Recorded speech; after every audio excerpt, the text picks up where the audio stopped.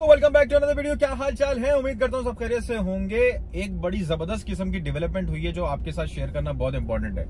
मेरी कुछ travel agents के साथ यहाँ पे बात हुई है। उन्होंने मुझे बताया है कि यार, दुबई ने दोबारा से थ्री मंथ्स का जो विज़िट वीज़ा है ना, वो शुरू कर दिया। दो महीने का पहले टूरिस्ट वीज़ा चल रहा था। अभी थ्री मंथ्स का जो है विज़िट वीज़ा जो है, दोबारा से शुरू हो गया अभी इंक्वायरीज उनके पास बहुत कम आ रही है। मोस्टली वही लोग अप्लाई कर रहे हैं जो किसी के रिलेटिव हैं या फ्रेंड्स वगैरह हैं।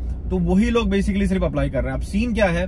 अब आप इंडिया पाकिस्तान कहीं से भी अप्लाई कर रहे हैं ना तो पहले आप ट्रेवल एजेंसी से कंफर्म कर लो कि यार, हमें ऐसे ऐसे न्यूज़ पता चली, क्योंकि यहाँ मैं दुबई में बैठा हूँ तो मेरे जो बेसिकली लिंक्स हैं या जो भी ताल्लुकात हैं कुछ ट्रेवल एजेंट से मेरी बात हुई, उन्होंने बताया हाँ ये बात बिल्कुल ठीक है थ्री मंथ्स का वीज़ा इशू हो रहा है विज़िट वीज़ा और जो है, वो विज़िट वीज़ा टूरिस्ट वीज़ा नहीं है, ठीक है? तो तीन महीने का विज़िट वीज़ा अब यहाँ पे दोबारा से सीन ऑन हो चुका है। तो जो लोग भी यहाँ प्लान कर रहे हैं अकॉर्डिंगली जॉब के लिए या विज़िट के लिए या घूमने फिरने के लिए, जो भी सीन है तो तीन महीने का हो चुका है शुरू। और रीजन एक एक इम्पोर्टेंट जो अपडेट है, वो भी ये भी है कि तीन महीने की जो कॉस्टिंग है ना, वो तकरीबन 1500 से 2000 दरम के दरमियान में है। क्लियर हो गया मामला?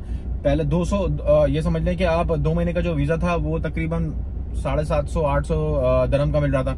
अब उसका डबल है तीन महीने का। तो जो भी प्लान कर रहा है, देख ले विज़िट वीज़ा जो है, वो ऑन हो चुका है। ठीक है ना? वीडियो को शेयर करें ज़्यादा से ज़्यादा अपना ख्याल रखिएगा। भाई को ज़रूर दुआ में याद रखें। अल्लाह हाफिज।